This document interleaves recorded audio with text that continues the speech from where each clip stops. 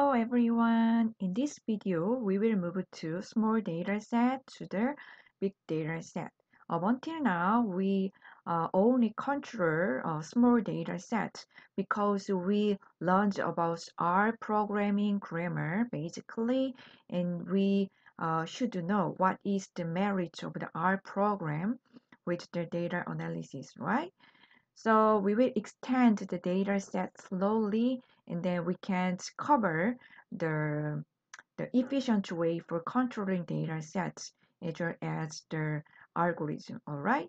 Okay, so we will go ahead. Um, in data analysis, we can classify uh, the steps with three uh, categorized. First one is the data collection. How can we collect our data? Second is data processing. How can we efficiently process our data sets? And third one is data storage. How can we uh, store uh, our data sets uh, safely and comfortably? All right. So in the first step, we collect and consider data sets with various ways. Up until now, we only consider toy data set, right, with the R programming uh, grammar, right?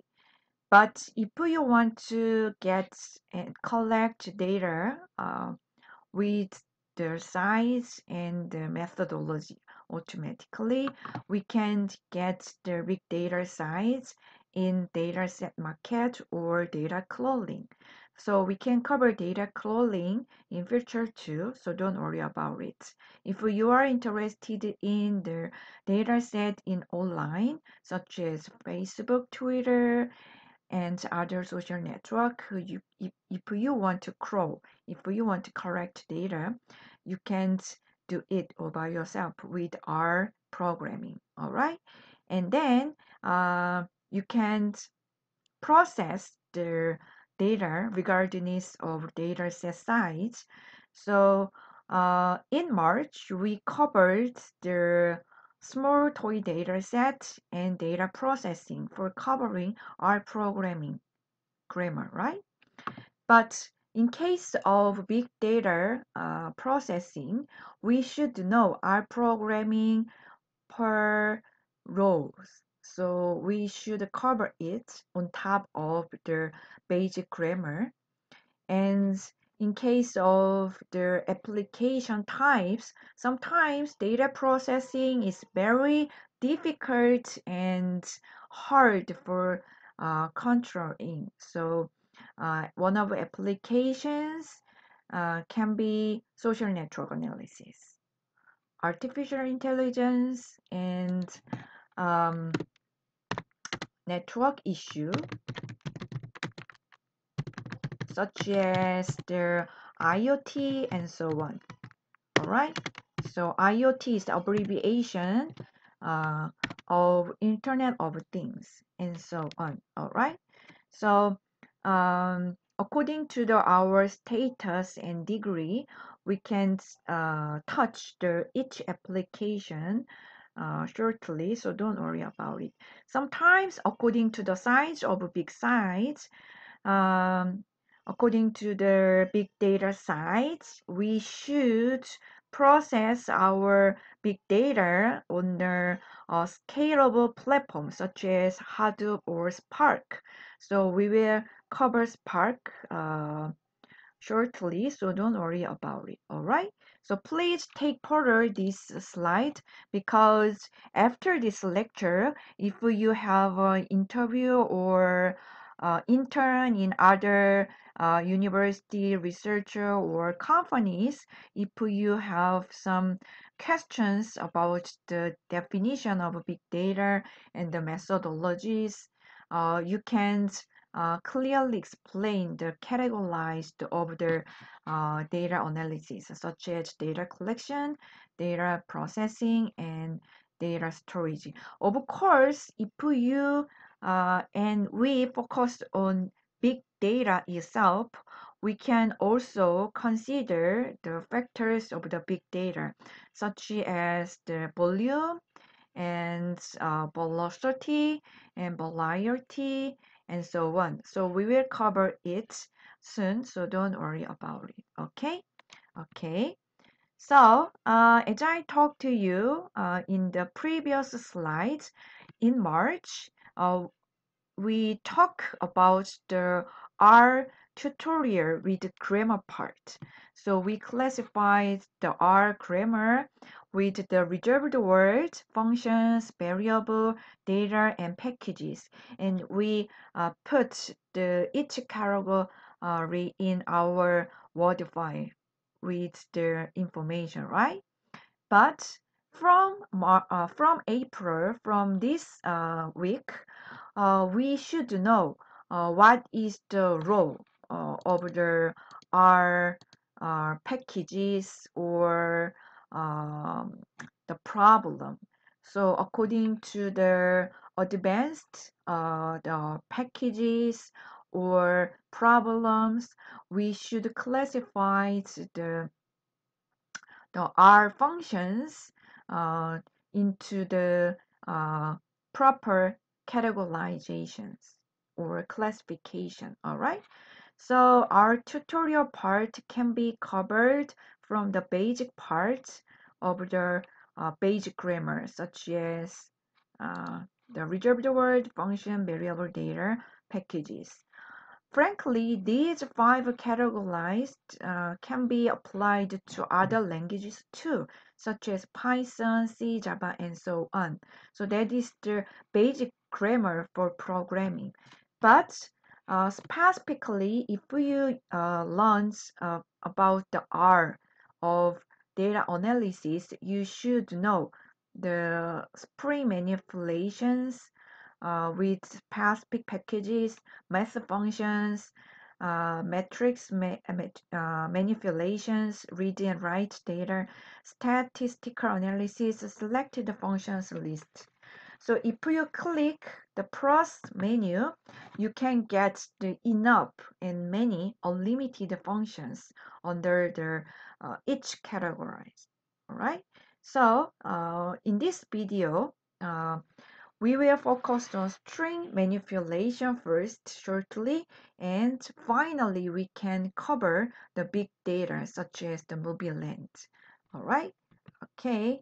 So the project two is big data analysis as I talked to you before.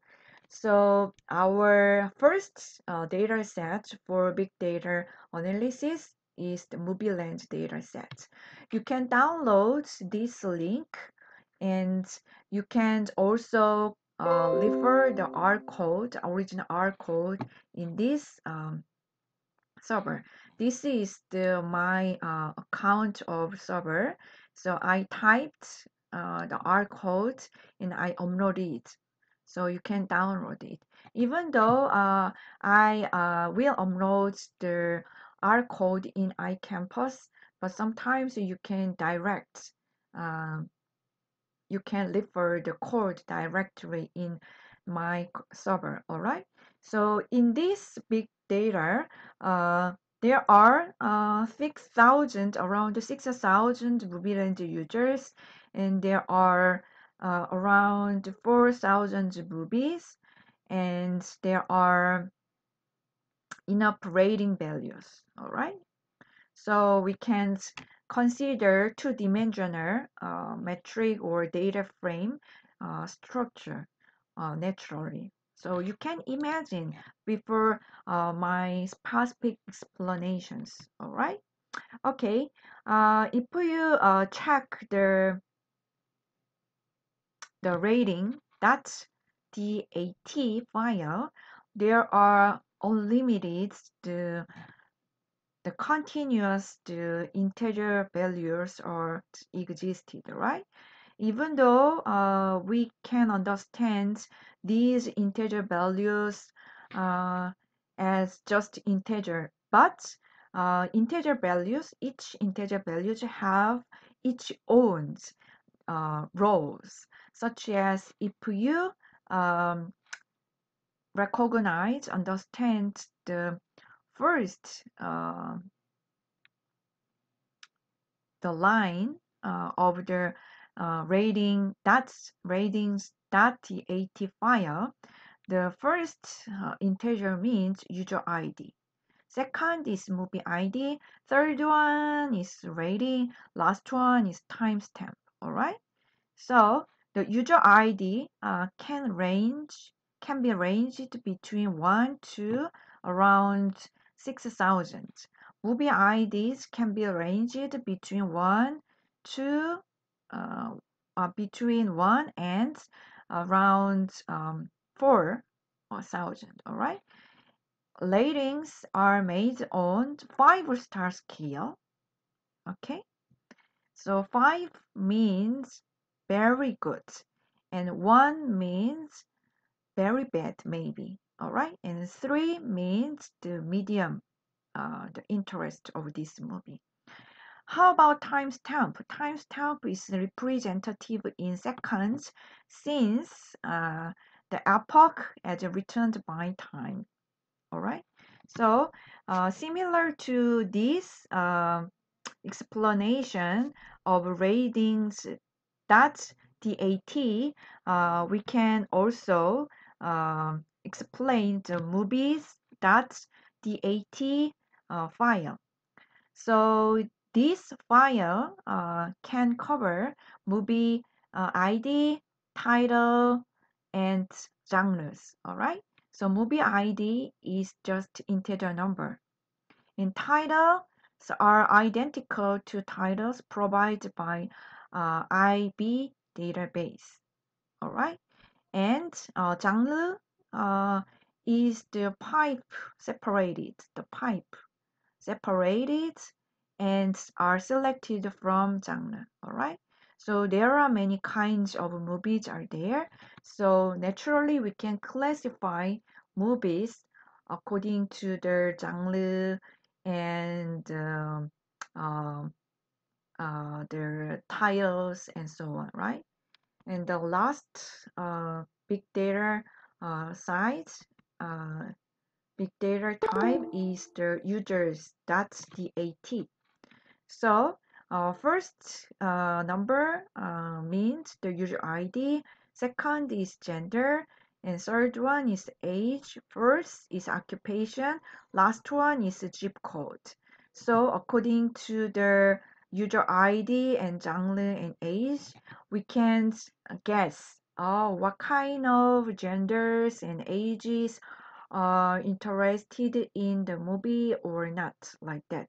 So gender is denoted by uh, AM for male and F for female. Age can be chosen from um, the following the uh, categorized. All right. So uh, we can um, explain uh, the each big data set with enough time, uh, with enough explanation uh, per each index. So occupation is also chosen from the following choices. So in this video, we just started big data analysis with MovieLens data sets. So from next video, we will go ahead and uh, discuss about the what kind of results are possible like that. Okay, thank you. See you next movie. Bye bye.